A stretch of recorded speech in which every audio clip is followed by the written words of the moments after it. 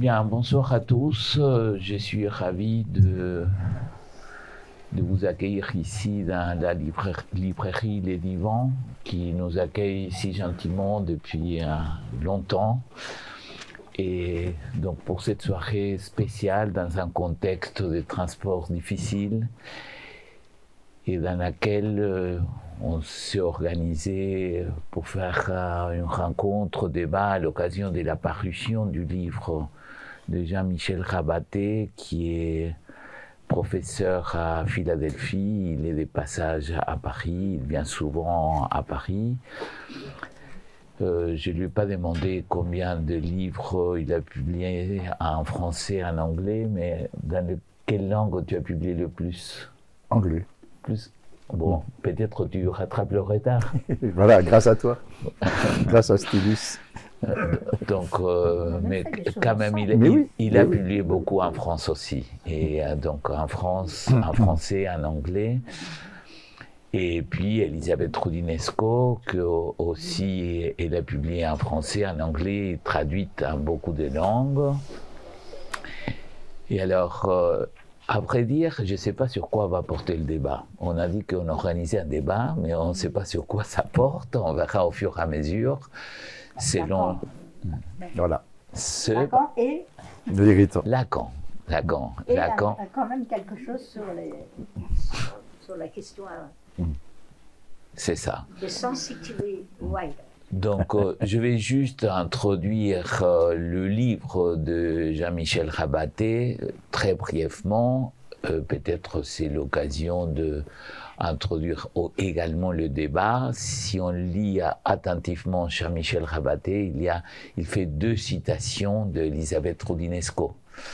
ce sont des citations qui ont à voir avec le texte Kant avec Sade où il évoque un livre où Elisabeth Rodinesco euh, cite et développe les conceptions d'Ockenheimer. Et donc, c'est peut-être un des points sur lesquels ça serait intéressant de débattre. Lacan avec Sade, qui est très difficile. de Lacan. Exactement, Kant avec Sade.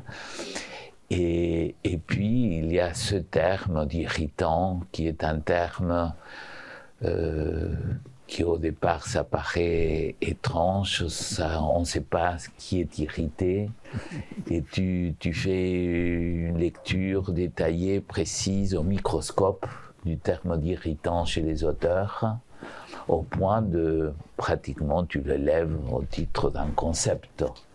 Pas jusqu'au point de mettre l'irritant en majuscule, parce qu'on a discuté là-dessus, mais euh, tu, tu, fais une place importante, pas seulement euh, sur la forme négative, l'irritation, mais aussi l'effet positif de l'irritation. Alors je trouve que ça tombe bien parce que on est dans un contexte de la psychanalyse en France où vient d'apparaître la logique du fantasme. Et Jacques Alain Miller, il dit que sans Lacan, c'est le calme plat. Donc au moment où il c'est pas c'est oui, c'est pour ça que j'ai dit que ça tombe bien qu'on trouve un peu l'irritant ici. Donc peut-être tu vas peut-être irriter aussi Jacques Alain Miller.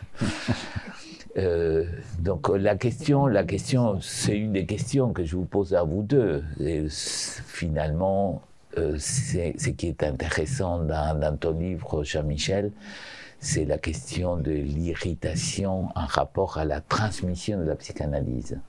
Donc je crois qu'on va parler de ça, un thème qui vous intéresse spécialement, Elisabeth, la question de la transmission, le contexte actuel de la transmission et les effets, les effets d'irritation aux États-Unis, parce que tu commences le livre autour de finalement comment ils ont été irrités aux États-Unis, et après tu laisses ça, et tu as donc un style où tu développes un point et puis tu passes à un autre, mais tu n'oublies pas le point précédent.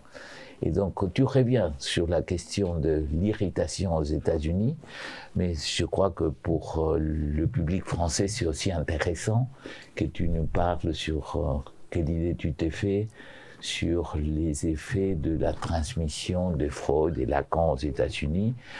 Et Elisabeth Rudnesco, c'est également la même question.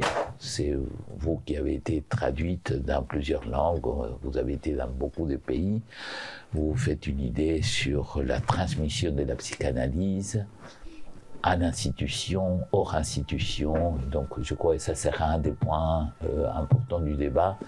Je vais éventuellement euh, parler plus précisément du texte je, je, dirais juste un mot. Euh, Elisabeth Roudinesco, elle vient de publier euh, un livre qui est une euh, réédition, on peut dire, euh, le livre avec la postface et l'édition Ah bah des oui, poches.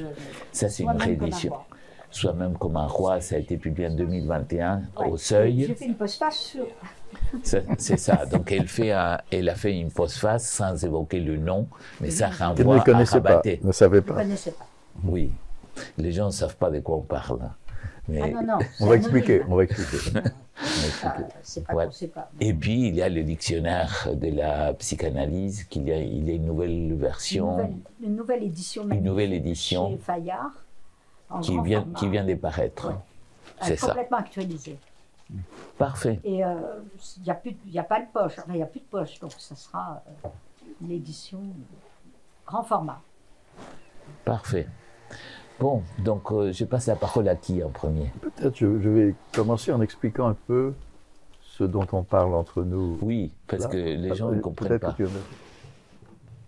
Merci, merci Louise. Et je vais passer la parole à Elisabeth. Vous m'entendez bien?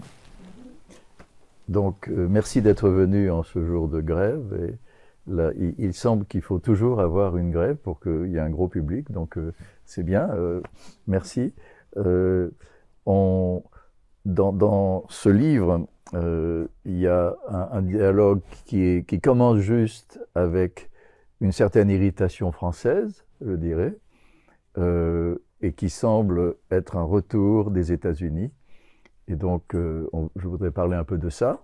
Et Lacan, la pensée lacanienne, un, euh, un certain lacanisme fait partie de ce qui a été en transit, qui est venu d'Europe, parfois de Slovénie, évidemment, mais euh, aussi de France, et qui a fait retour. Et c'est un peu dans cet esprit-là que je voulais juste mentionner, le fait que, et on, y reviendra parce que ça fait partie du, débat global, j'avais été le lecteur pour la maison d'édition britannique Parletti, qui euh, traduisait, se demandait s'il pouvait traduire le livre d'Élisabeth sans créer des émeutes. Et euh, croyant bien faire, euh, j'ai suggéré qu'il y avait deux choses qui, est- qui étaient peut-être dangereuses. Et donc, on pourrait revenir en, en- en C'est fin de discussion. Voilà. Voilà. Soi-même comme un Voilà. roi, Voilà. qui a été traduit chez Press. Voilà. Et, et le donc, contrat a été quand même signé. hein. Le contrat a été signé. Bon, mais donc ils, ils avaient un peu peur, et qui sait, euh, ce livre vient de sortir, et euh, je vais parler d'un point de vue qui est le mien, qui est celui d'un Français devenu américain, peut-être trop américain pour les Français, et qui est plus près de certaines attitudes euh, des étudiants. Et quand je reviens en France, je vois qu'il y a cette immense campagne contre la pensée woke qui me semble un peu malvenue par certains côtés. En tout cas, mon expérience est très différente de ce que je peux lire dans tous ces livres. Mais là, je suis allé trop loin, il est vrai. je fais un monde Je honorable. n'utilise pas le mot woke. Hein. Non, Jamais. Pas du tout. Voilà. Et d'ailleurs, c'est pas ça pas dont ça. tu parles, mais je parle pas de. Mais euh, la seule idée que j'aimerais lancer comme ça ce soir consiste à dire ceci. Si l'on prend Lacan au sérieux comme éducateur, et je dirais que Elisabeth, on se connaît depuis très longtemps, j'ai beaucoup appris d'elle. Quand j'ai fait en, anglais un Cambridge Companion tu as écrit un texte qui est toujours cité, merveilleux, sur le stade du miroir, etc. Et beaucoup d'autres livres qui nous ont amenés à faire des, des rencontres, des débats, ici ou là. Et euh, à l'intérieur de ça, je trouve que ce qu'il faut rendre à Lacan, c'est pour ça peut-être que Louis parlait de, de calme, je ne suis pas tout à fait sûr que ce soit si calme, son pouvoir irritant.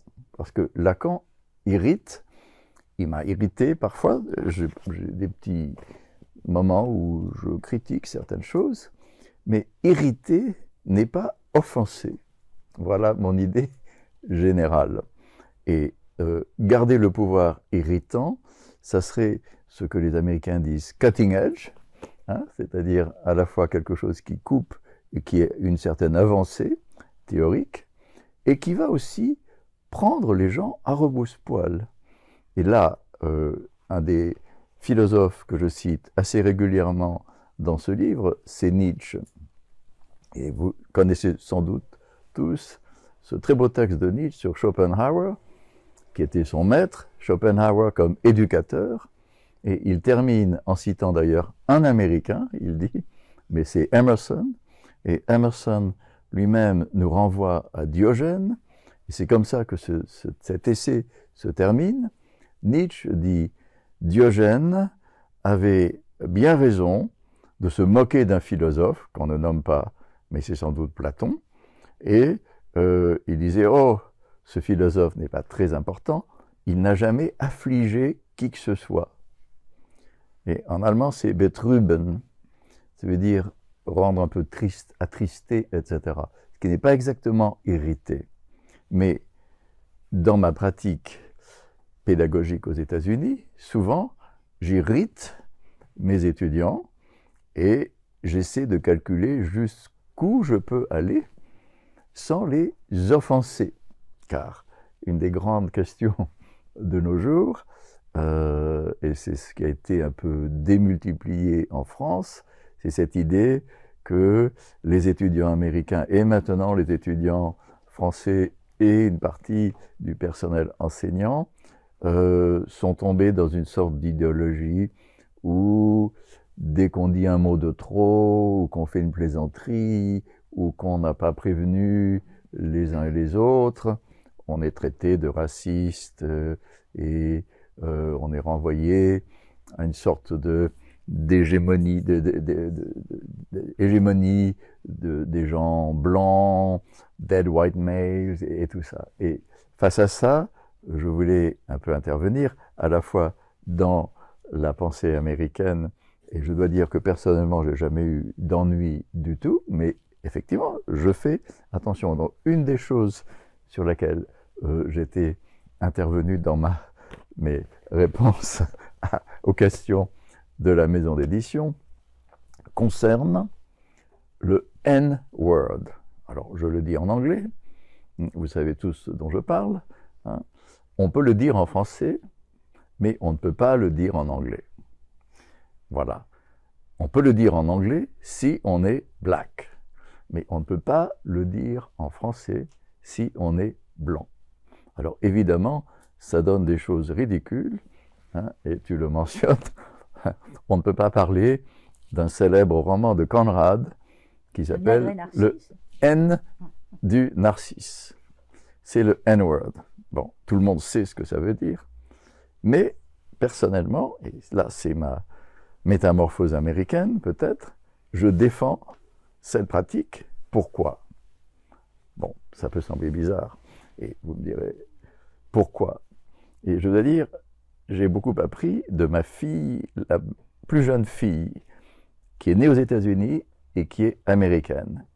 Et quand elle avait 15 ans, on avait une discussion homérique et je commençais à dire le N-word et elle s'est précipitée vers moi et elle a mis sa main sur ma bouche. Tu ne peux pas le dire. Mais pourquoi? Je disais, je, je le citais, non, tu ne peux pas le dire. J'ai mis longtemps à comprendre pourquoi cette sorte de panique verbale. Hein. De notre point de vue français, on a un peu mal jugé cette attitude en disant Ah, ces Américains sont très naïfs, il pense qu'en changeant le vocabulaire, on va changer les choses. Ce que je disais aussi. Mais ce n'est pas ça. C'est que pour la génération de ma fille, à tout moment, on peut être photographié. Et on peut être euh, un, quelqu'un peut avoir son iPhone et vous prend en instantané en train de dire le N-word et voilà, c'est fait. Il y a eu une série euh, très célèbre aux États-Unis, The Chair, où on voit quelqu'un qui commet une erreur, qui, en, plaisantant, fait le salut hitlérien, en se moquant, et aussitôt tous les étudiants le dénoncent, etc. Ceci correspond non pas à une folie, mais à une technologie, à un usage de la technologie nouvelle, c'est-à-dire que ce qu'on appelle la génération I, I generation, euh, est une génération qui a toujours le petit téléphone et qui filme sans arrêt, etc. Et donc, c'est pour ça que il me semblait que euh, dans la version anglaise, euh, il fallait peut-être respecter cette convenance qui, je ne sais pas si tu veux reparler non, de ça. Euh, voilà, bien sûr, bien sûr. Mais euh, ceci, toujours à partir de cette idée que euh, irriter, c'est bien. Et je trouve que c'est très bien que Lacan soit irritant, et on n'est pas assez irritant, et que Diogène avait raison de dire à Platon sois plus irritant, mais que quand on dépasse une certaine limite très invisible et qu'on commence à offenser l'autre, surtout aux États-Unis, là, il n'y a plus de dialogue possible.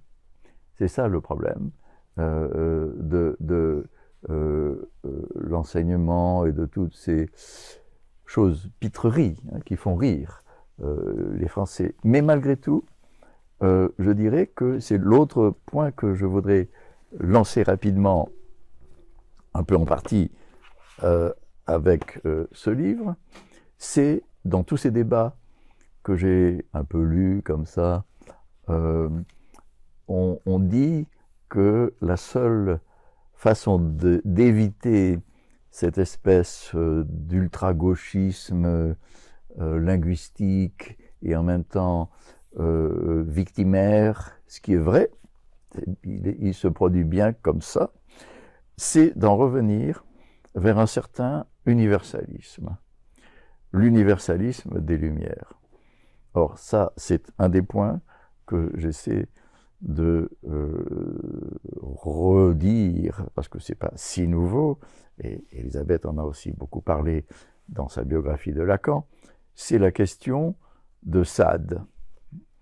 Euh, et euh, une ou deux fois d'ailleurs, dans des réunions aux États-Unis, avec des étudiants, je leur disais, d'abord, vous m'énervez, vous n'avez pas lu Sade. Quand vous aurez lu Sade, vous reviendrez et on en reparlera. Pourquoi Sade?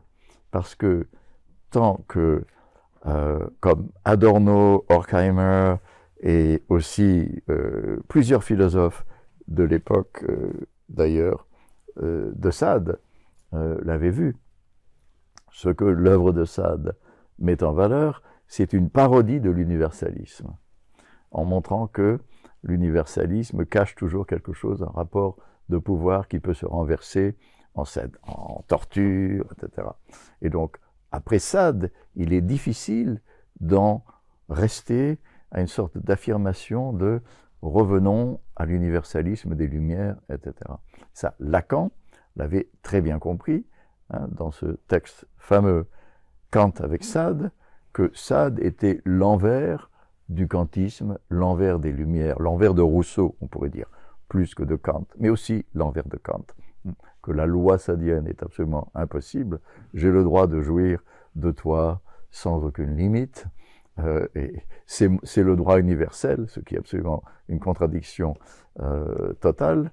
Mais il suffit, si on, on- lit ça, des, bien d'autres écrivains ou penseurs de, l'excès, Bataille en sera un autre, euh, il me semble qu'on ne peut pas revenir à une sorte de déclaration des droits de l'homme et du citoyen, euh, car, et, et ça je crois que c'est Lacan qui l'a bien montré, hein, que, euh, en, relisant le célèbre apologue de, de Kant, que si quelqu'un voit un gibet et on lui donne la possibilité de passer la nuit avec la femme qu'il désire, il sera pendu le lendemain quand on conclut que cet homme ne va pas le faire. Et Lacan dit au contraire, au contraire, il y a beaucoup d'histoires comme ça. L'homme non seulement va coucher avec elle, mais sans doute la couper en morceaux, et le lendemain matin, il sera tout content d'être pendu. Donc ça, c'est l'autre version de la loi euh, euh, kantienne.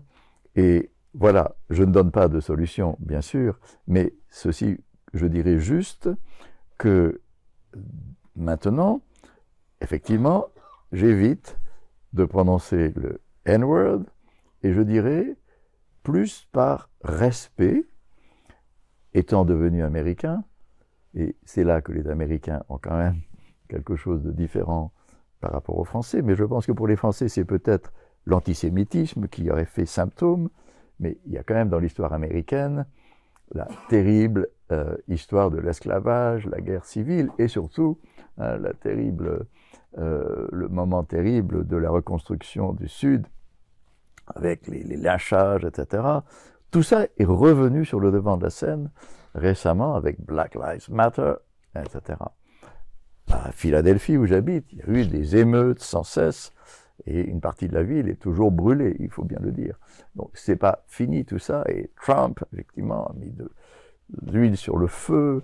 On n'en est pas encore sorti de ces choses-là. Et euh, tellement de choses sont en cause que moi je dirais que ma simple intervention, c'est en tant que Français devenu Américain, euh, je ne prononce pas ça. Et je fais très attention aussi, euh, sans me sentir culpabilisé pour euh, les générations antérieures. Peut-être que tu veux parler de, de l'autre objection que, j'avais faite. Euh, J'ai une objection de fond. Bon, vas-y, voilà. Alors, euh, pour moi, c'est un peu un signe de, de, respect de quelque chose face aux gens qui, effectivement, peuvent se poser comme des victimes et qui ne sont pas toujours des victimes, mais je sais que une de mes amies qui est guadeloupéenne, qui est professeur à l'Université de Pennsylvanie, euh, qui est noir, euh, fait un séminaire en ce moment gradué euh, sur la pensée de Franz Fanon. par hasard, il se trouve que tous les étudiants qui sont inscrits dans ce séminaire sont noirs, d'origine différente, et ils ont voté pour ne jamais utiliser le N-word pendant toute l'année. Voilà. Donc ça, ça, j'étais intéressé. C'était une bonne réaction. C'était une bonne réaction.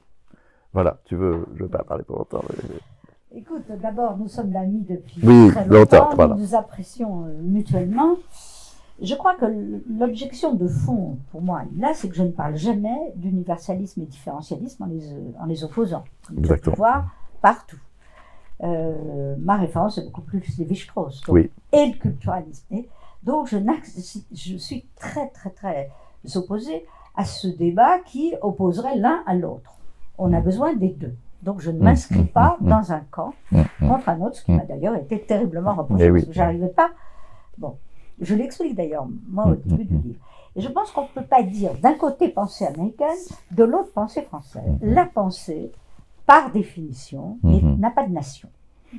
Donc, euh, on pense à travers des œuvres qui sont cosmopolites. Moi, je suis une individualisme total je me sens très bien dans tous les pays du monde, à condition que ce soit une ville. Hein. Donc, je veux dire, la référence n'est jamais nationale, n'est jamais.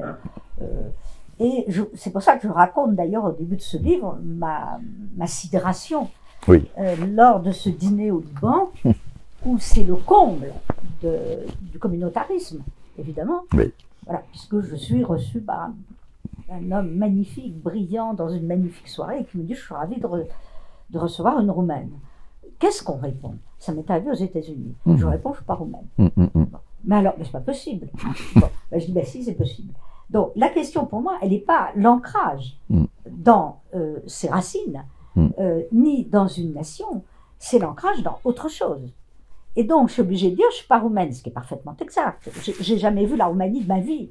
Mon père a immigré, hein, bon. En 1904. Et quand je suis allée en Roumanie pour la première fois, ils m'ont dit Est-ce que vous vous sentez roumaine? Je dis Jamais de la vie. Voilà. Moi, je me sens autant new-yorkaise que française que tout. Je suis toujours à l'aise partout. Donc, je n'aime pas ancrer. J'ai en horreur l'anti-américanisme primaire, Ouais. qui sévit naturellement, euh, dans les- en plus dans les milieux psychanalytiques, qui est quelque chose de détestable, hein, qui vient d'ailleurs de Lacan. hein. Voilà. Et de Freud, comme Ah, tu sais. Freud a commencé. Donc j'ai pas mal critiqué, mais enfin, faut aussi replacer dans un contexte. Mm, bon. Alors, à, à partir de là, moi, je suis pas capable de me penser appartenant à ou à. Euh, je suis ce que je suis, basta. Donc, c'est une défense formidable contre tout ça. Oui. Deuxièmement, je te ferai remarquer que ces dérives identitaires, j'ai jamais parlé de woke, moi, je trouve ça insultant, c'est l'extrême droite qui utilise le terme. Ah, je suis content que tu dises ça, oui, Enfin, oui. je le dis, je Mm, mm, ne l'utilise pas. Mm, mm, Euh, tu as vu l'article que j'ai fait Oui. sur le colloque euh, Mm. De droite, mm, mm. euh, Eh oui. droite intellectuelle, hein, c'est Mm. pas droite politique, sur la déconstruction, c'est complètement ridicule. Euh, Derrida devient le symbole de la dégénérescence euh, générale. Mais ce que, simplement ce que je veux te dire, tu n'as pas d'un côté, et c'est ce que j'essaye de montrer, tu n'as pas d'un côté la pensée américaine et de l'autre côté la pensée européenne ou française. Les protestations contre ces dérives, que Mm, moi mm. je n'accepte pas, à la différence de toi. Alors comment je fais avec les étudiants, ça c'est un autre problème. Mais euh, la protestation contre ces dérives, elles viennent des États-Unis aussi. Mhm. Et c'est pas que les réactionnaires qui sont contre. Ah bah, et comment ils font eux dans leurs cours? Ils Mhm. n'acceptent pas. D'ailleurs, tu viens de dire qu'il y avait une opposition à ça. Oui. En France, on présente ça comme un mouvement absolument massif. Moi, j'ai donné les chiffres, c'est 10%. Oui. Bon. Donc, les minorités agissantes sont agissantes. Mais quand tu regardes le nombre de thèses, c'est absolument minoritaire. Simplement, c'est fort. Mais c'est pas vrai que tout a été envahi par le genre. par- Absolument pas. donc je pense que ça va pas durer une éternité. Maintenant, ça peut durer un, un bout de temps. euh. Et deuxièmement, et en plus, je pense pas que c'est un problème de génération. Euh, et, et la bêtise, il faut la combattre, quel que soit l'âge. Voilà. Et moi, à ta place, j'aurais dit à ma fille, ça suffit maintenant. Alors, je vais te donner un cours sur euh, ce que c'est que Joseph Conrad. Et puis, on peut aussi quand même, parce que je pense que c'est des monuments de bêtise, ces choses-là, qui favorisent en fait l'extrême droite. hein. Donc, je suis ni du côté des, des universalistes fous, Mm, mm. c'est impossible, bon, ni du côté des différentialistes fous. Pourquoi? Parce que position nuancée. Et je pense qu'aujourd'hui, la, la seule position subversive qu'on peut avoir, c'est justement la nuance, si je puis dire. Hein C'est-à-dire de ne pas céder, au fond, à l'essentiel dans tout ça, qui est qu'au nom de l'offense, on porte atteinte à la liberté d'expression à laquelle je suis attachée, à la démocratie euh, à laquelle je suis attachée, parce qu'il ne faut pas nous faire le coup que c'est, c'est- c'est- que c'est mieux ailleurs et que les démocraties seraient totalitaires ou je ne sais quoi. Ils ont qu'à aller vivre dans les pays où il n'y en a pas. Enfin, c'est ce que je réponds. Alors maintenant, que répondre à des étudiants Ça m'est arrivé à l'école normale, dans mon séminaire, notamment quand j'ai fait aussi un cours sur la race et le genre, j'en ai eu. Euh, Il y en avait. C'est, alors, la grande différence, c'était pas que des noirs. Chez nous, on n'a pas ce problème. Mm. Il n'y a pas ce, ce- il n'y a pas ce problème-là. On est encore quand même attaché à l'idée qu'on, répond à un étudiant comme sujet. J'ai eu euh, une étudiante africaine, jeune, qui disait, euh, moi, madame, euh, je faisais un cours sur les strauss et sur le fait qu'on que le mot race n'a plus à être utilisé parce que ça n'existe pas. Ça ne veut pas dire qu'il faut réviser les textes d'autrefois qu'il emploie, mais que scientifiquement, il n'y a pas de race. Elle me disait, il y en a une, la preuve, madame, je suis noire. Devant, euh, quand même, les, le- bon. Mm, alors, mm. qu'est-ce qu'on fait? On fait de la pédagogie, tous. J'ai dit, madame, je ne sais pas pourquoi vous dites que vous êtes noire. Oui, ça se voit. Mais en quoi êtes-vous différente? Et là, on a des réactions très compliquées. Parce qu'en fait, elle revendique sa race. Eh oui. Et c'est ça le problème qu'il faut. Et moi, je crois beaucoup qu'aujourd'hui, on a deux choses à défendre la science, Mm. hein, voilà, Mm. l'art, tu vois. Euh, le- voilà, il faut qu'on défende alors les vrais universaux qui existent, Mm. Mm. mais qui sont pas du tout ces universaux-là. Euh, alors maintenant, quant à ta critique des droits de l'homme et du citoyen, non, je ne vais pas jusque-là. Je pense que dans le monde entier, d'ailleurs, puisque tu circules aussi, euh, cette déclaration de 89 est un texte admirable. Voilà. Et euh, c'est un texte admirable. Alors, il faut le prendre comme un texte admirable. Mm. Qu'on puisse le corriger comme l'a fait Lévi-Strauss, je veux bien. Mais moi, je, je pense qu'on ne doit jamais abandonner ce qu'est l'autonomie du littéraire, l'autonomie de la, de la pensée, euh, qui ne doit pas être ancrée euh, Mm. là-dedans. Raison pour laquelle, Mm. euh, ce qui s'est passé à propos de mon livre, ce que j'ignorais, c'est que c'est toi qui avais fait le sensitivity reader. Voilà. C'est-à-dire ce que je dois enlever dans mon livre pour euh, ne pas avoir l'air d'offenser. Alors, j'ai évidemment refusé. Je ne savais pas que c'était toi qui avais fait le texte. J'ai vu qu'il y avait beaucoup d'humour. Quand même, j'avais laissé glisser oui, des oui, petites choses. quand même, il est intelligent. C'est pas une féministe de base, c'est vraiment rien. Bon. Et je me suis dit, à un moment donné, vous êtes euh, témoin, Maria, vous, vous pensiez que c'était féministe parce que vous n'avez pas imaginé un instant. Moi, je n'ai pas imaginé un instant. Et je me suis dit, il y a une note d'humour. Mm. Parce Mm. que tu dis en réalité, ce que, tu, ce que, je, que je dois enlever, c'est complètement ridicule Mm, mm, de vouloir faire ça. mm. Mais aux États-Unis. Donc, euh, bon, tu devais te douter que je.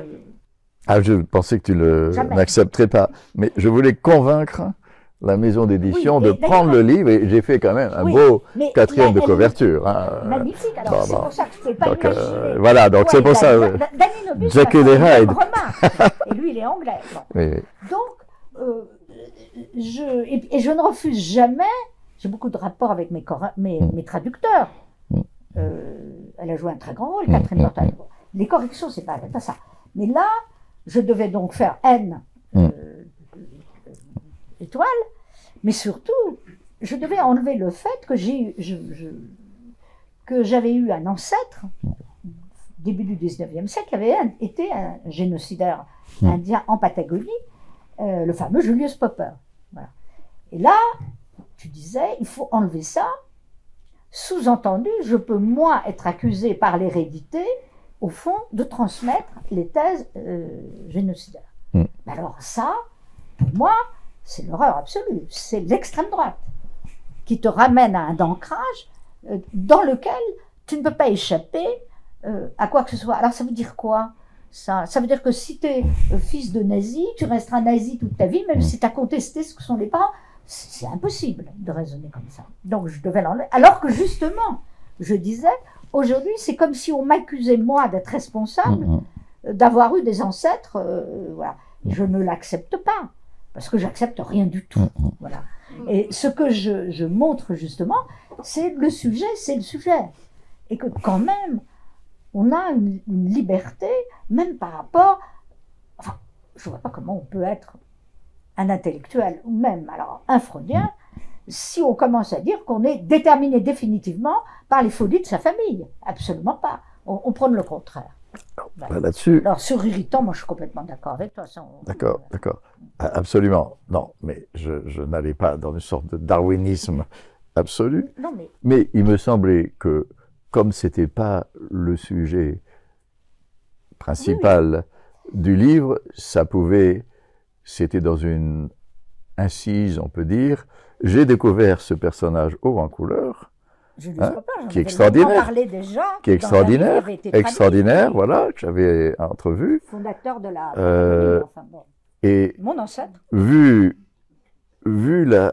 Alors voilà, je vais, je vais employer un terme qui, qui, qui est psychanalytique, qui est un peu celui de surdétermination, hein, qui, qui existe dans la, la théorie des rêves de, de Freud, mais aussi, euh, on sait bien, Althusser l'avait utilisé pour parler du matérialisme dialectique, euh, les lectures surdéterminées.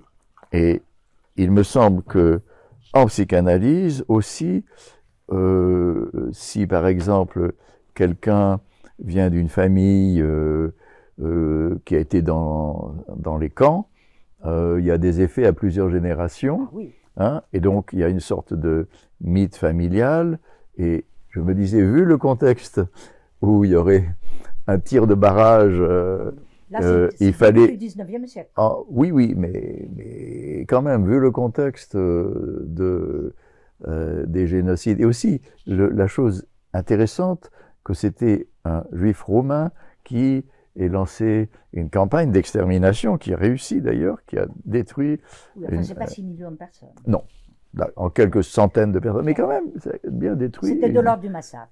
Voilà, c'est un petit massacre. C'est un petit massacre, un petit massacre. D'accord. Bon. mais disons, il me semblait, vu, vu les, les problèmes que je pouvais prévoir, ça me semblait pas indispensable de, de Ramsey. Mais alors, j'en profite pour te, te, te, répondre sur cette question. Tu as tout à fait raison sur l'identité. C'est-à-dire que moi aussi, je, chaque fois on me dit, qui êtes-vous? Français, etc. Et, et, alors, tu as une, un, un, passé euh, qui est très intéressant avec beaucoup. Je ne peux pas répondre à ça. Voilà, voilà, voilà, voilà. Et moi aussi, je refuse qu'on me. Moi, je refuse pas, je peux pas. Mais alors, ce que je dirais en même temps, c'est que une des choses dont on a beaucoup parlé récemment, et, sans arrêt mes étudiants me renvoient ce mot, c'est intersectionnalité. Tu as d'ailleurs quelques pages un peu, un peu méchantes. Un peu dures. Un peu dures. L'intersectionnalité, c'est pas idiot du tout. J'ai pas dit que c'était idiot. Non, tu dis que c'est dangereux. Et donc, pousser à son, pousser à sa limite. Qu'est-ce que c'est que l'intersectionnalité? C'est l'idée que l'identité est toujours multiple et qu'elle se détermine par des croisements de lignes de force entre, disons, le côté hégémonique et le côté subalterne, on peut dire, en gros. Hein, et qu'il y a sans arrêt, ça, ça, a fait jurisprudence aux États-Unis pour parler des femmes noires et femmes et noires, etc., ou femmes noires qui ne parlent pas bien anglais, ou qui sont pauvres, etc. Mais qu'est-ce que c'est finalement que cette théorie c'est une théorie de la surdétermination de l'identité.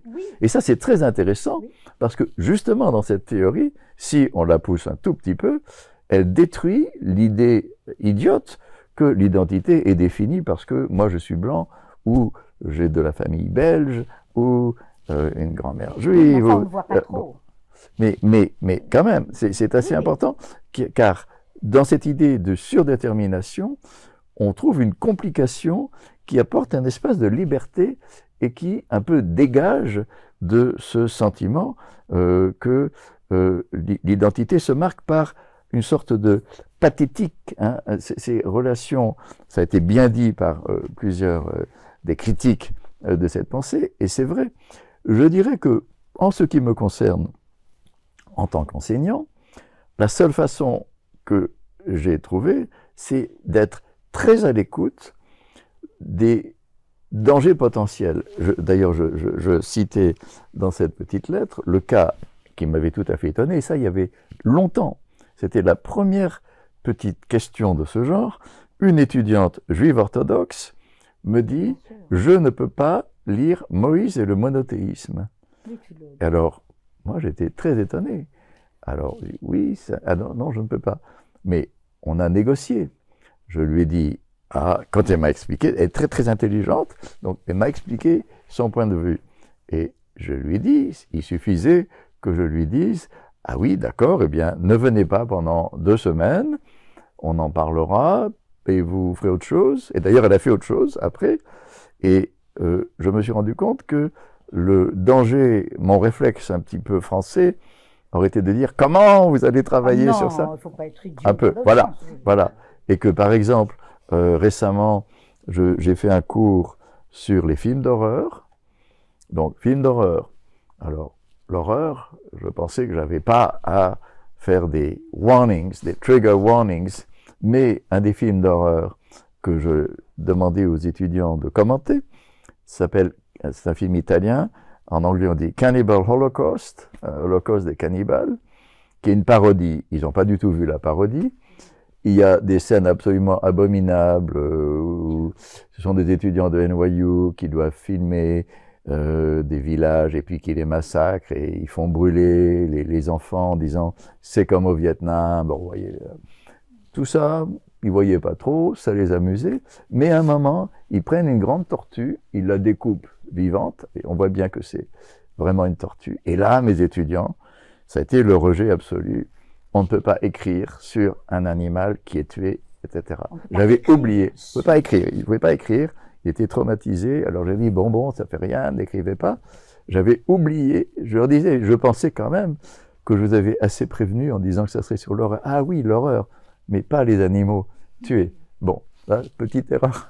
Mais c'est maintenant, je dirais qu'il faut apprendre de cette génération-là, ce n'est peut-être pas le cas encore en France, ce sont des étudiants qui sont effectivement tellement au bord d'une angoisse ou d'une conduite suicidaire que n'importe quoi de ce genre peut les faire basculer.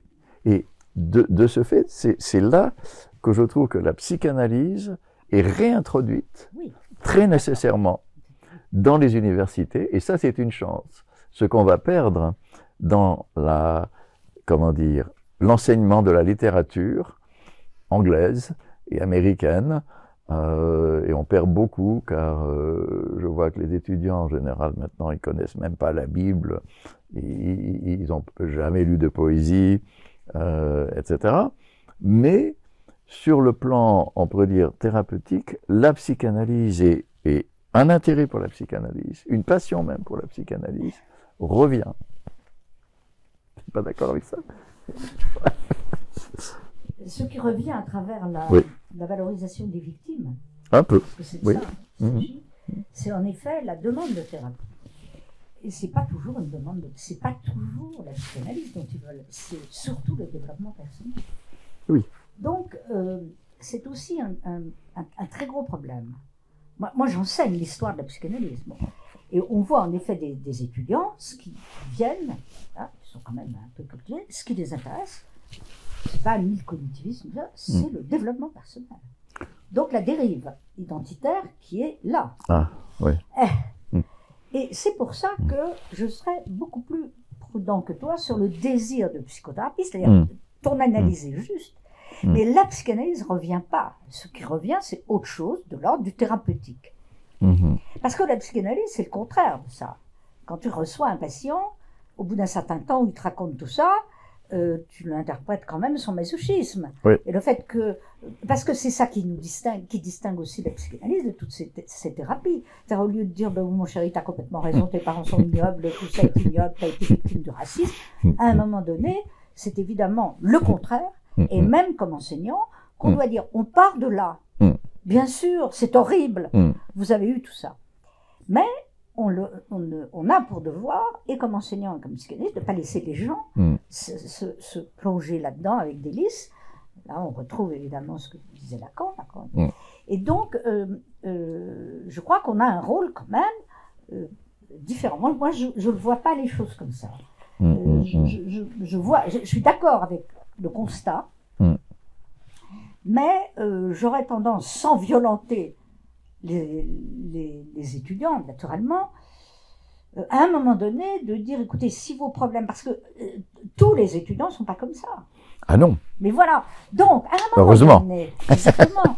Donc, ce qu'on peut dire, mais attention, vous allez vous, vous, laisser dépasser, vous resterez les mauvais élèves, vous allez vous laisser dépasser par les meilleurs qui vont pas eux, mhm. stagner dans le marais de la victimisation. Mhm. Donc, moi, je pense qu'on leur rend pas service non mhm. plus euh, avec ça. Et, là, évidemment, ça vient aussi de mon histoire, tu le disais. Je vois pas pourquoi on prendrait pas comme exemple, euh, quand même, reprendrait pas comme exemple face à cette espèce d'état dramatique hein, qui est victimisation généralisée, de dire mais les héros ça existe. Il y en a eu. Dans la résistance, il y en a aujourd'hui en, Ukraine. Regardez des modèles qui sont peut-être un peu plus intéressants euh, que euh, de se valoriser dans la victimisation. Donc, je, crois que euh, il faut plutôt, enfin, moi j'aurais tendance à ça. Alors maintenant, face à l'élève juif orthodoxe qui ne supporte pas, évidemment, de lire Moïse, je sais bien que là, pour le coup, avec ce modèle de laïcité mm. dont, dont, je parle, on est différent. Euh, j'aime bien ce modèle. Je sais qu'il n'est absolument pas universalisable. D'ailleurs, il y a de la laïcité aux États-Unis ah sous une autre forme. On a quand même affaire à un moment à l'obscurantisme religieux. Donc, on ne peut pas dire à un obscurantiste religieux, tu es obscurantiste. On peut essayer, plutôt que de la faire sortir de la classe, de lui dire, mais vous êtes très intelligent. Pourquoi vous n'affrontez pas le débat? Défendez vos positions et on va voir si ça tient. Et moi, je préfère ça. Autrement dit, si j'ai face à moi euh, ce genre de problème, je dis parler. Hmm. On parle. C'est-à-dire, on ne s'envoie pas des, des, trucs à la figure, on ne déserte pas, on, on s'en va pas parce qu'un truc vous gêne, Hmm. on, on parle. Mm. Et la vertu de la parole, il faut quand même la, la soutenir, parce que sinon, on va fabriquer aussi des étudiants qui ne tiendront pas la route face aux violences du monde. C'est ça ce que je crains. Alors, Alors justement- maintenant, ton exemple tortue est fascinant, parce que Ah oui, qu'est-ce oui. qu'ils te disent? On ne peut pas écrire là-dessus, on peut écrire sur tout. C'est-à-dire qu'ils confondent, euh, au fond, pour eux, écrire, ce serait être complice des gens qui coupent en morceaux les tortues. Voilà. Voilà. Mais moi, je leur dirais, les gens qui coupent en morceaux les tortues, on va les couper aussi en morceaux. Sauf qu'on n'a pas le droit dans un état de droit. Mais enfin, voilà. Mais on peut écrire surtout. Mhm. Parce que écrire, c'est pas ag- agir. C'est justement ce, voilà. Ça que je dirais. Alors, j'aimerais que tu aies raison, parce que c'est ce qu'il faudrait effectivement. Cela dit, pour revenir à, l'exemple de cette étudiante, elle, c'était il y a longtemps, donc il y a dix ans. Maintenant, ça serait sûrement très différent vu le contexte. Mais elle, au départ, elle a, c'est pour ça que je parlais de d'offusquer ou offenser. Elle était tellement offusquée que elle était prise à la gorge et qu'elle disait non, il n'est pas possible qu'un juif comme Freud dénie à, au fondateur de ma religion le statut de juif. Je pars en courant. Non, Et c'est le partir en courant.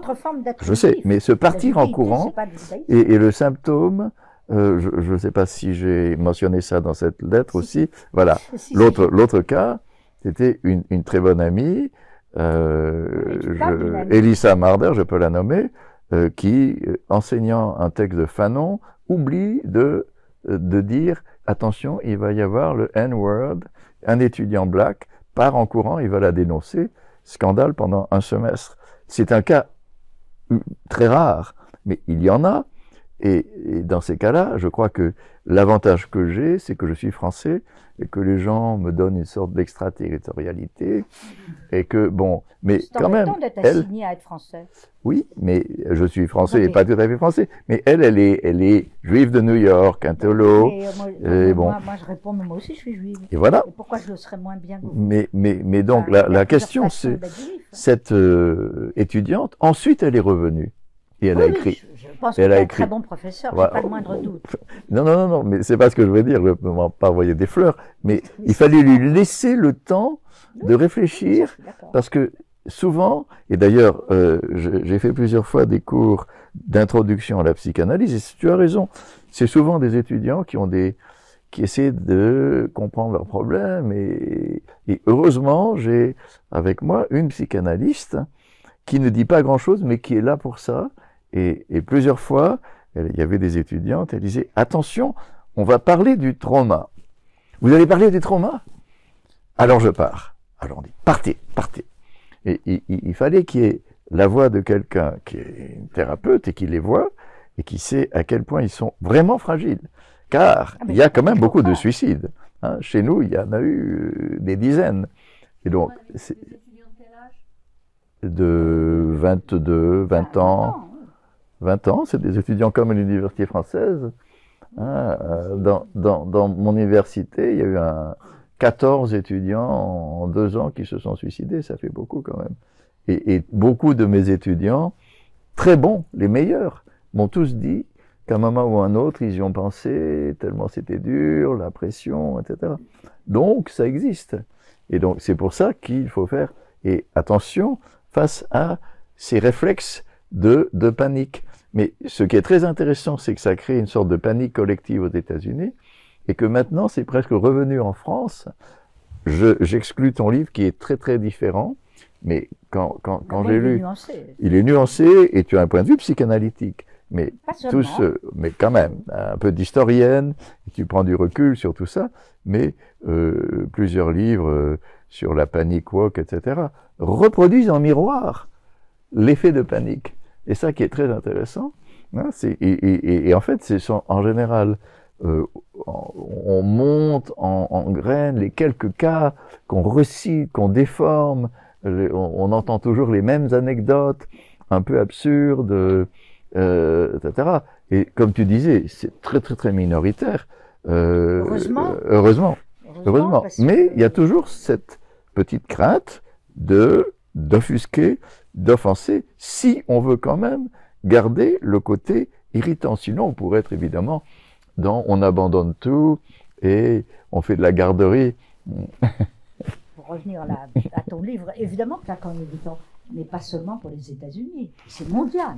Voilà. Ouais. C'est euh, travailler sur Lacan, euh, c'est travailler sur quelque chose de module. J'en sais quelque chose. Moi, je suis la personne la plus insultée aujourd'hui. Je suis rentrée dans le dictionnaire des auteurs français les plus insultés. euh, J'ai eu quand même sept procès. À cause de ta biographie mais, à cause de tout. Hmm. Voilà. Donc j'ai évidemment... Moi je ne fais jamais de procès. J'en ai eu des j'en ai eu des lacaniens euh, de Milan. Ils ont tous perdu. Hein. Hmm, hmm. Moi je ne fais pas de procès. Euh, certainement pas là-dessus. Mais enfin, on, t'empoisonne l'existence euh, avec, avec ça. Et donc, euh, euh, Lacan est, pour avoir écrit vraiment la seule biographie qui existe, hein, parce que je, suis bah la seule. Bah oui. J'aurais bien aimé qu'on m'en oppose d'autres mm, mm. sérieuses. Mm, C'est-à-dire, quand j'ai fait la biographie de Freud, j'avais une historiographie derrière moi. Donc j'étais obligé de réfléchir par rapport à ceux qui écrivent avant, avant, moi. Mais là, en effet, c'était du première main. Et euh, mais c'était terrifiant. J'avais contre moi les anti-lacaniens qui mm. considéraient que c'était honteux de faire une biographie d'accord mm, parce que mm, c'était en gros un pauvre type. voilà. Et puis les lacaniens, puisque euh, ils voulaient pas, c'était de l'idolâtrie. Donc pour moi, ces deux choses sont de la pathologie. C'est-à-dire que l'histoire de la psychanalyse crée aussi des pathologies. Bien sûr que Lacan est irritant, plus que Freud. Maintenant, ah oui. comme tu le dis très bien, je te rappelle que Freud fait aussi partie hmm. des personnages les plus insultés avec Darwin, Einstein. Donc c'est pas seulement parce qu'il est juif, hein, c'est, mais c'est normal parce que dès qu'on amène quelque chose de nouveau, on est, euh, c'est insupportable. Donc moi je, je revendique irritant. Tu as raison. Il était encore plus irritant que ce que tu dis. euh, il y avait des moments, écoute, moi j'ai bien connu Lacan. Euh, Lacan, c'est pas Freud. Hein. Non. C'est pas du tout la même chose. Euh, l'irritant n'est pas du même côté. Freud est irritant par sa pensée. Voilà. Je dirais, euh, par tout ce qu'on sait, Lacan est irritant, j'allais presque dire, ontologiquement. Mhm. Il était insupportable. Alors, il fallait déjà avoir une conscience qu'on avait affaire à quelque chose qui pouvait ressembler à une sorte de génie, mhm. mais qu'il fallait pas tout prendre pour mmh. content, que c'était ce, génie au fond euh, libertin, et extravagant, euh, c'est un baroque. Oui, tout à fait. Donc, euh, qu'il fallait plus séparer le, personnage, enfin, l'homme de, de, son œuvre. Mais dans la vie, c'était quelque chose de terrible. Mmh. C'est vrai qu'il était très difficile à supporter pour tout le monde. Mais je suis content que tu, que tu dises qu'on t'a ben attaqué, etc. C'est pas si mal, en fait, d'être attaqué. Parce que ça veut dire qu'il y a une certaine santé, que les gens réagissent, etc. Il est traité de tous les noms. Oui, bien sûr, bien sûr, bien sûr, en plus. Nous démontrer bien tout ça n'est pas vrai. Oui, oui, Et ça, pardon, moi, je regrette pas euh, d'avoir fait de l'histoire parce que euh, ça m'a sorti de tous les dogmes. Mmh. Au lieu de lire lacaniennement l'histoire, je fais de l'histoire de... Et donc, ça sort des dogmes. On n'est pas obligé de dire il était génial toutes les minutes, même quand il mettait ses pantoufles. Donc, euh, la question, elle est que c'est une pensée, en effet, à mon avis, euh, beaucoup plus baroque. Au fond, Lacan est un romantique classique. Mmh. alors que Lacan, en effet, il est, il est quand même sorti de de toute une époque très trouble, très troublée. Il a eu une histoire troublée, il a eu une enfance troublée, il a eu pas du tout le même. Alors maintenant, pour revenir à ce que tu dis sur Kant avec ça, qui est un des plus beaux textes de Lacan, hein, un des ah plus difficiles et un des plus beaux. C'est souvent comme ça. Mmh, mmh, mmh. Euh, je trouve que c'est un texte admirable. Donc je l'ai commenté comme toi. Sur la, question que tu poses sur euh, Adorno Horkheimer, moi je pense qu'il l'avait pas lu. Ah, mais oui, d'accord. Moi, moi, moi, Moi, si. oui, non, il Ah, l'a pas lu, mais il en Bon. été imprégné sans l'avoir lu. Ah, d'accord, d'accord. Le livre n'est pas dans sa bibliothèque. Et Mm, mm. d'autre part, je me suis rendu compte à plein de, de, de signes euh, qu'il ne l'avait pas lu. Mais tout le monde autour de lui l'avait lu, à commencer Oui. par Bataille. Oui, oui, oui. Donc, euh, Lacan, qui prenait beaucoup l'air du temps, Mm. le- l'époque où il écrit Quant à et même l'époque avant, tout le monde avait dans, euh, je veux dire, dans la tête, sans l'avoir lu, La dialectique de la raison, qui est quand même un, un- un livre absolument génial, Adorno, Horkheimer. Donc, en fait, c'est comme quand il prend exactement les positions d'Anna Arendt, là, je suis sûr qu'il ne l'avait pas lu. Oui. Hein Donc, c'est nous qui, tout en disant, euh, bon, euh, on voit dans Lacan ça, voilà. moi j'ai fait une comparaison Mm, aussi, mm, mm. euh, ça ne veut pas dire qu'il avait lu les textes. D'où l'intérêt là de l'histoire, j'ai été vérifié dans sa bibliothèque. Alors maintenant, ça ne veut rien dire, hein. il ne l'avait pas dans sa bibliothèque, ça ne veut pas dire qu'il ne l'avait pas lu. Mais je ne crois pas. Ça, je le vois à...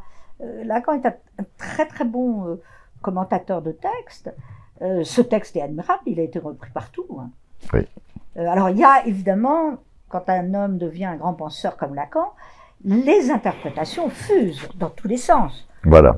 Donc, euh, voilà, il y, a- y y des gens qui ont interprété ça. Mais, alors, je suis très très Moi, content que tu que tu dises ça parce que j'avais cru que tu disais euh, Non, le contraire. Très bien. Alors, moi, ce qui m'a toujours étonné, et peut-être que tu vas faire une biographie d'Adorno un de ces jours. Non, il y, en a trois. Il y en a beaucoup, oui, qui sont très bonnes d'ailleurs. J'adore Adorno. Quelque chose qui m'étonne toujours, toujours quand je repense à Adorno, c'est le fait quand même la, la fin triste d'Adorno.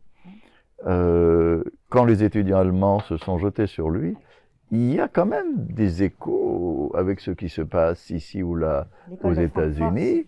L'école de Francfort, c'était bien triste. Alors géniaux. Et alors que la chose, comme vous savez sans doute beaucoup d'entre vous ici, ce qu'on lui reprochait, c'est de n'avoir pas été fidèle aux thèses de Dialectique der Aufklärung, hein, de, de ce, de ce livre génial écrit avec Horkheimer, qui était quand même beaucoup plus subversif que le dernier Adorno. Il est- Et, et c'est un peu le, le, euh, la, la, la tristesse quand on voit certains Ils sont destins. morts en plein heideggerianisme. Euh, oui, Donc, ah, euh, ah. en fait, ils avaient raison. Et, et je dirais d'autre part que mon livre, en fait, est très appuyé sur la pensée allemande, euh, Ça, puisque, commun. hein. euh, voilà, moi j'ai beaucoup utilisé les concepts de Niklas Luhmann, J'ai vu. euh, que j'adore, qui est un, un grand penseur, et je dois ça à un voyage euh, euh, de Paris à New York. euh, mon voisin, dont je n'ai jamais su le nom, il y a très longtemps, m'a dit, avec un très fort accent allemand, est-ce que vous connaissez Niklas Luhmann? Non, pas du tout. Et du coup, Et tu l'as- irritation Et il m'a parlé d'irritation, là, c'est quoi? Et j'ai découvert ça. Et alors, Luhmann, c'est pour ça que euh, c'est le côté biologique de, de l'irritation qui m'a intéressé, car c'est le concept, sans doute beaucoup d'entre vous le savez, de la marque.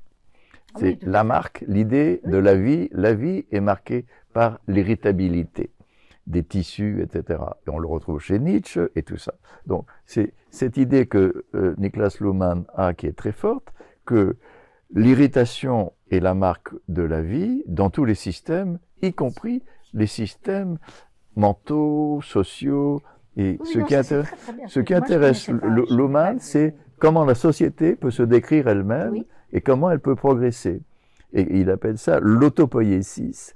Donc comment un discours comme la psychanalyse euh, peut progresser. Ce qu'on a en commun, Elisabeth et, et moi, c'est d'avoir aussi beaucoup fréquenté Derrida hein, et d'avoir un peu déplacé parfois les questions de la psychanalyse vers celles de la déconstruction. Bah, C'était inévitable. Quand Voilà, on voilà. avait- Il y avait ce, ce dogmatisme lacanien. Moi, je suis sorti deux fois du lacanisme. C'est ça, éviter le dogmatisme. sûr, impossible. Mais, mais, mais justement, Enfin, si, si vous connaissez un peu ces analyses de, de Luhmann, c'est très très intéressant. Ce qui l'intéresse, c'est comment un discours, on pourrait dire avec Foucault, ou une, une certaine pensée euh, euh, euh, peut mourir ou se régénérer ou repartir. Et, et pour pour moi, donc mon analyse, c'est que Lacan, pendant très très longtemps, éviter de dire qu'il était un auteur. Il disait, il n'y a que Freud qui est l'auteur. Moi, je suis l'irritateur, si on peut dire. Euh, c'est pas un commentateur, parce qu'on disait que c'était un commentateur. Non, euh, j'irrite Freud, mais il irritait Freud en reprenant à Freud ses irritations elles-mêmes. Hein. Je te rappelle qu'il pensait réellement, et j'ai pu l'établir, qu'il était le seul interprète hmm. euh, euh, de Freud, hmm. le seul qui avait été capable de rénover, enfin de penser la vérité de Freud. Et moi qui étais à l'école freudienne, quand j'ai vu ça, euh, je me suis dit, là, c'est terminé, parce qu'il n'y a plus le doute.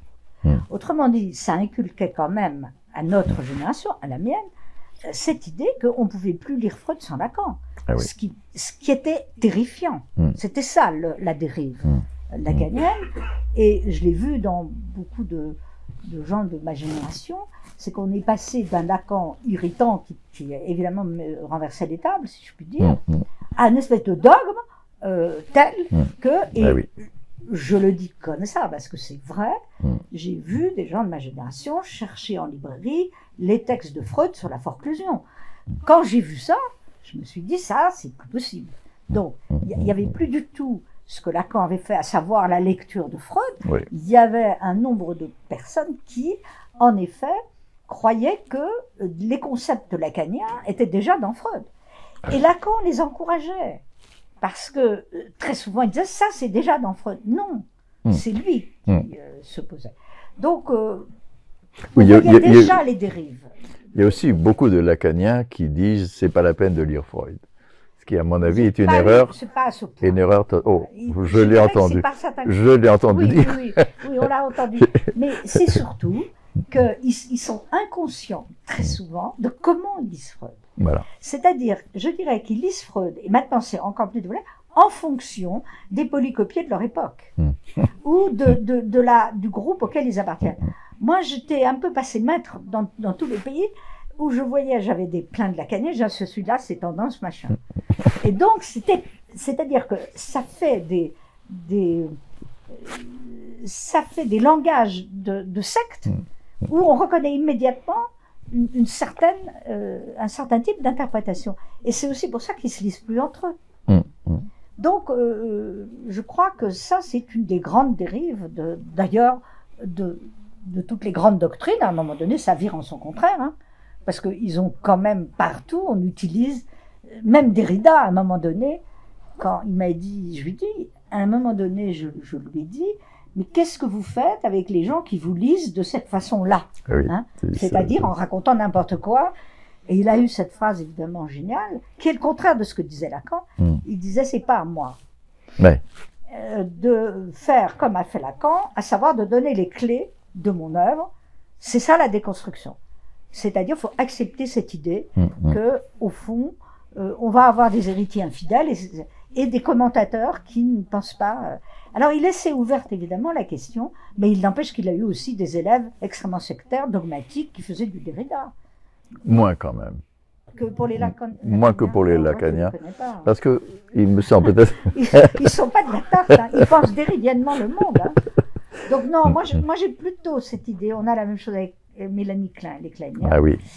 Euh, moi je pense que plus une doctrine est forte à un moment donné, plus mm. elle vire en son contraire.